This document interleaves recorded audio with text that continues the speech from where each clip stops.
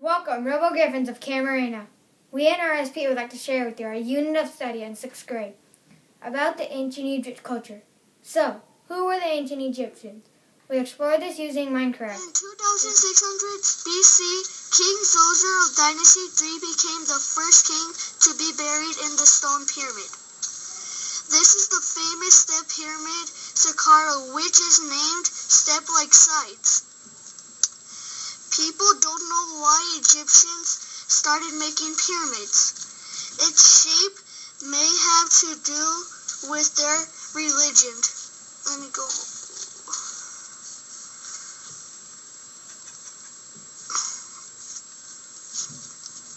The military served as an important part in Egypt, Egypt, both in peacetime and during war. Egypt had a powerful army of full-time soldiers that was stationed throughout the empire. A company, a company were made of about two, 200 foot soldiers. 5,000 men made up a division. There was a captain who led each company, and he carried a staff topped with the company's emblem. A general or a general led each division, but some each com- companies marched under the banner of the local guides.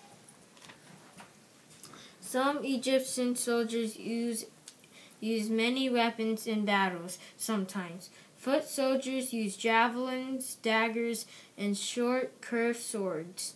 They also do protect themselves with shields made of raw hinds and wore a leather or bronze helmet and leather body armor for protection.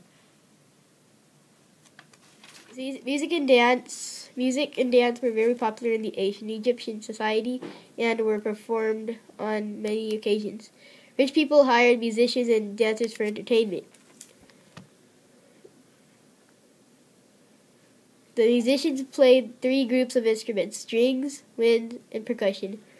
The harp, lyre, and lute were a few of the string group.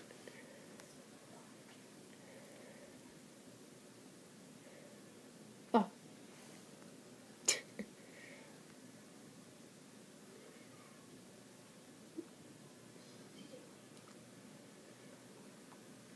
Flutes and oboes were the wind instruments. Musicians also used drums, tambourines, and rattles. Musicians also mem- memorized the musical sounds other than reading write, written music.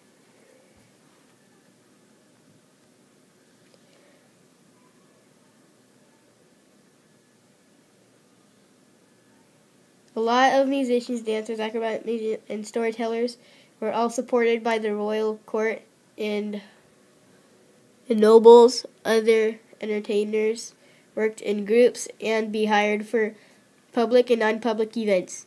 A lot of those a lot of those entertainers were women dancers and usually trained when they were younger. Over here.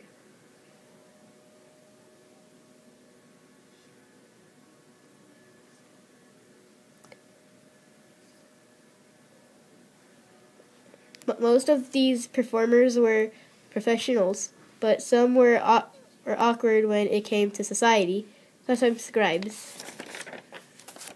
100% of ancient Egyptians spend most of their time farming. A farmer scattered wheat and barley seeds. The farmer also grew many things like vegetables, onions, radishes, peas, beans, cucumbers, lettuces, and meat. But for the meat, the ancient Egyptians had to hunt down animals so they can get meat. Cows also provide milk. The ancient Egyptians drank the cow's milk, also turned the milk into cheese. The Nile River also helped the ancient Egyptians with their water to drink.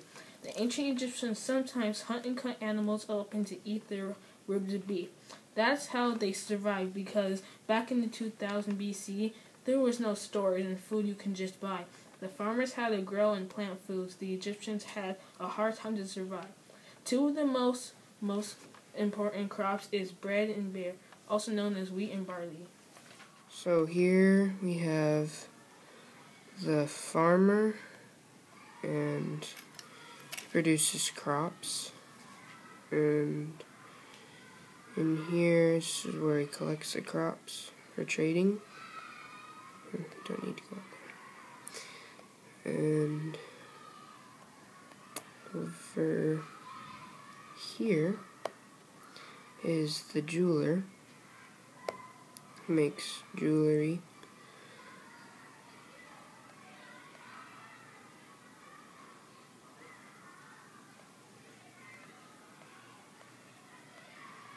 This is the jeweler's place.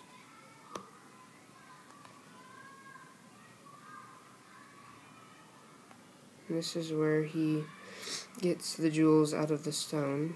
This is where he cooks, well, cuts the stone.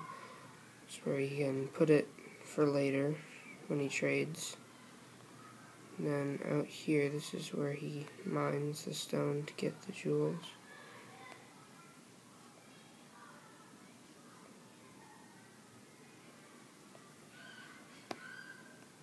Ancient Egyptians needed jewels and such farming crops and stuff to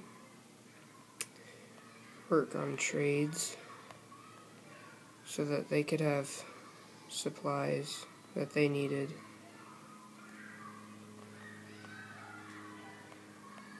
And over here we have a pyramid. These pyramids weren't normally easy to get into, this.